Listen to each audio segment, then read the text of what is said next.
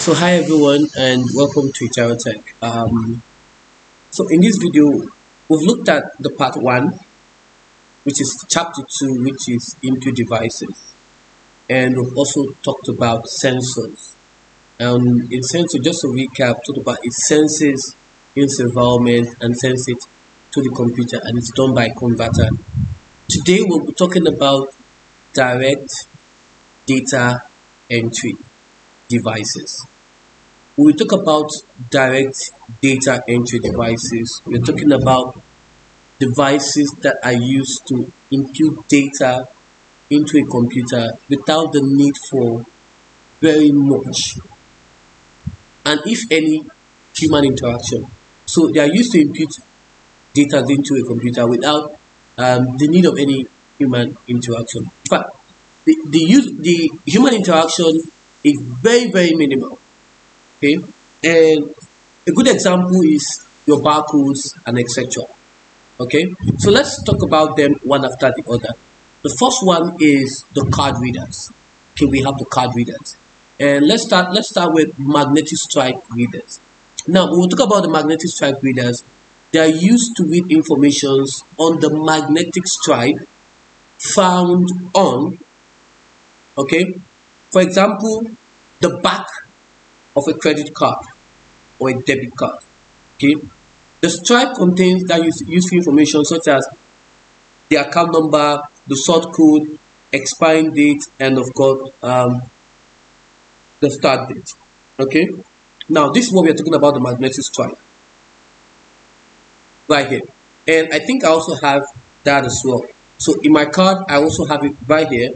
Right, it's an Access Bank card. I think I have to just security reasons, right? So you can see this, right? This is the magnetic stripe.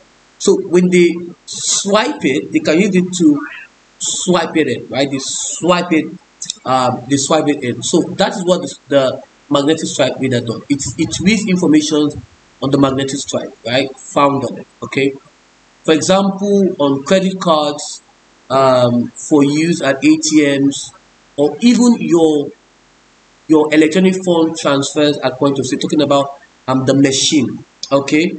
Um, for security devices, they are used to allow entries to buildings. So it's like a card, right? It's like a card, and they just swipe it in, and that gives them access to their buildings, to their hotel rooms. Okay, that's what the that's what the magnetic stripe is all about. They just read information that are found. The information is found on this when it's been when it's been um swiped. Okay, that's what that's what it does. And now, now we know the uses. What are the advantages? Quickly. Now the advantages is fast entry. Okay, rather than we typing the information, it reads the information right here. Okay, it's error free. When we talk about error free because there is no typing that is involved. Okay, and it's secure, right? It's secure because the information is not human readable form. You can't read the informations here but the information here until you swipe it, right? It prevents, it also prevents access to um, restricted areas, okay? It's not affected by oil, water, or moisture, or any form of moisture, which is actually a good, um, a good advantage. Uh, there are no moving parts, okay? So, um, so it's physical, it's very robust, okay? Very robust means it can be able to, um, it's some, it's, it can be able to handle, right? Not something that can be um, um, damaged easily. Okay. Now, disadvantages on the other hand talks about if the magnetic stripe gets damaged due to exposure to a strong magnetic field, then probably the data is going to be lost. So take note of that, right? Take note of that before probably you do anything with your card. Okay. Then um, it doesn't work at a distance. So it means that the card has to be in a form of close contact, right? It has to be in a form of close contact um, with the reader. So you have to actually put the reader right there to swipe it in to actually read it.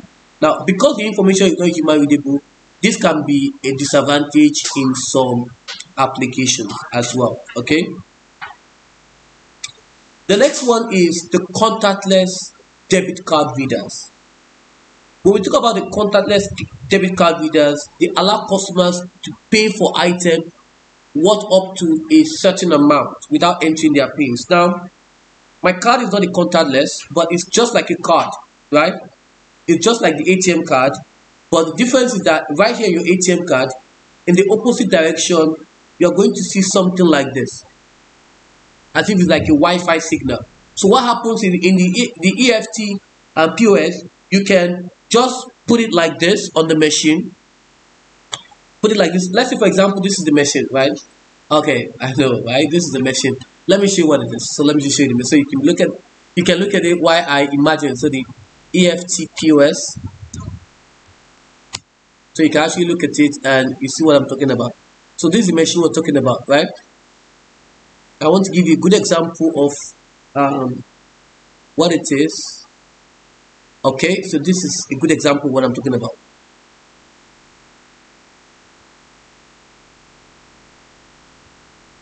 Now, can you see that? Now, in this case, this is contactless. So this is how the machine is, and then you put it like this, right? It has to be in close contact to see what's happening. Also, your phone as well. If the, if you have it in it, you just put it like this, and it's going to read it, right? It's going to read it, and the, the um, transaction is going to be authorized immediately. But the limit, the limitation is that it has a certain amount. it has a certain amount. So it simply means that not all the informations right there, not all the information right there um, is going to uh, not all like the amount there is limited, right? So and the, the whole reason is um, we'll talk about its advantage and then you know why um, that is designed to be like that. Okay, so um, we know what it is right now, right? So it allows um, customers to pay item what to a certain amount without even entering their pins okay now like i said they have a small chip this is the chip right here that emits that radio wave embedded in them now the card is held within a few centimeters right a few centimeters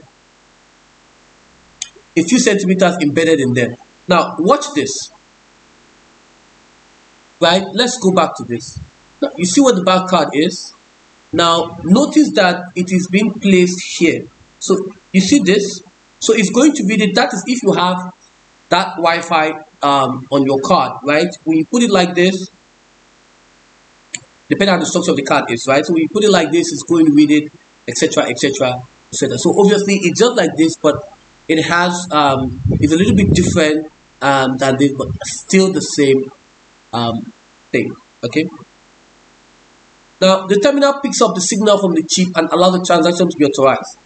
Now, what are the steps taken? Now, the customer will look out for the contactless symbol, which is this right here on the terminal card. The shop assistant will enter the amount of payment.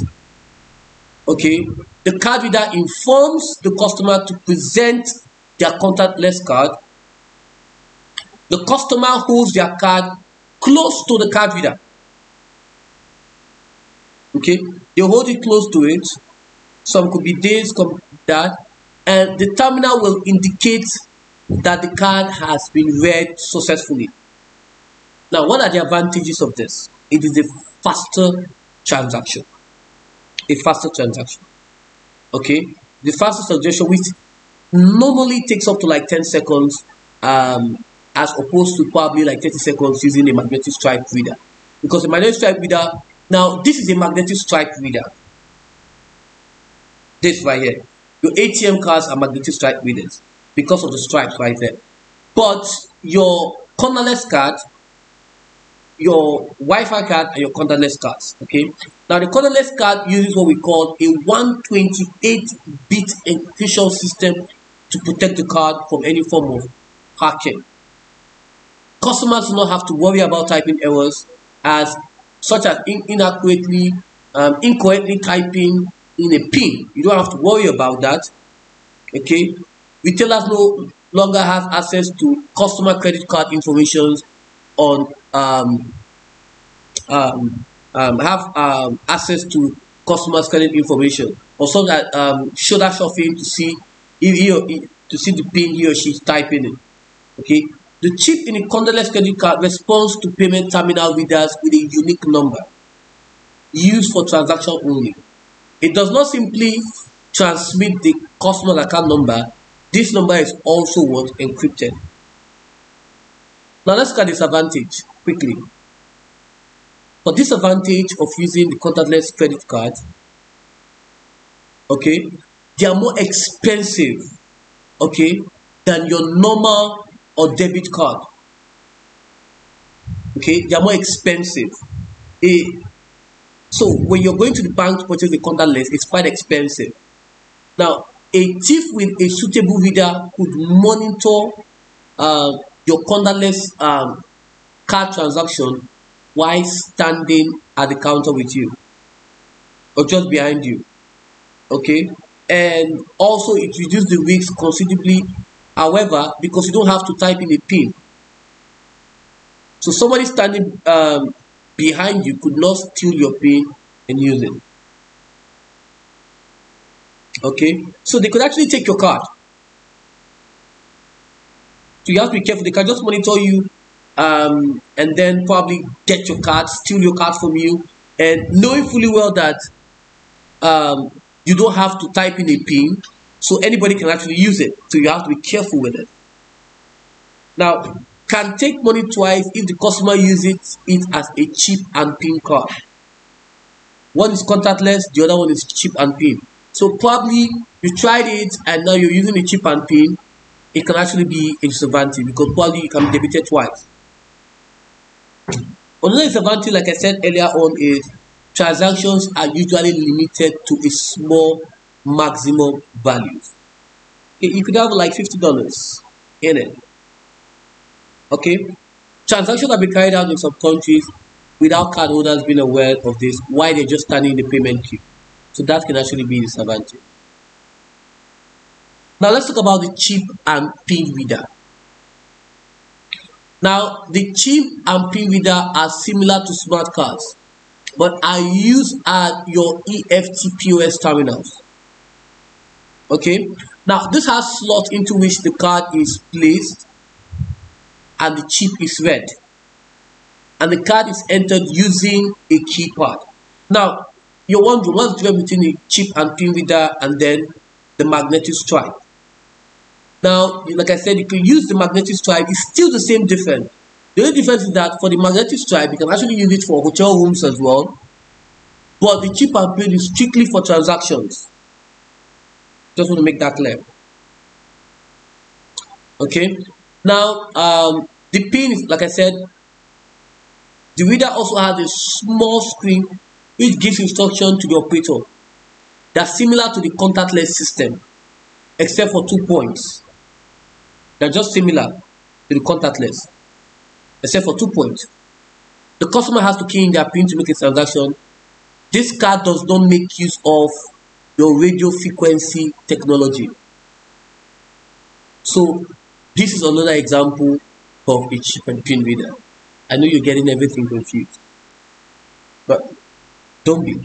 Now, if you've gone to hotel rooms, you see that the card is usually in this form. Okay, and they have something like the way you can swipe in. Now that's one level. But when it comes to, um, let's go back to the magnetic stripe so you have an understanding of what we're talking about. Now, when you look at the magnetic stripe, right, you are not necessarily putting in a pin. Know that. You are just simply, like Mike, for example, can also be a magnetic stripe. You just have to swipe in and when you swipe in it's going to read your informations. Okay? And transactions can be carried out. So in the case of credit card card for credit or debit cards for use at atms you can just swipe it in and transactions will be carried out. But for the chip and pin you actually have to slot it in and then type your pin. Okay Now, another thing is, let's look at the uses and advantages real quick. Where payments are made using cards, we use it. Restaurants, supermarket, travel agents, etc. But the advantage is it's more secure than contactless. Why? Because pin typed in must match up with the pin stored on chip. It's more robust than the magnetic stripe in terms of security wise. Okay. In terms of fraud, needs to be careful to ensure pin is not read by somebody else while you're typing it in. Okay.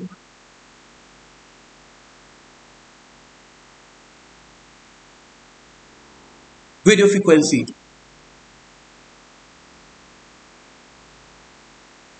okay and we'll do that the radio frequency we're going to do that in our next video. Okay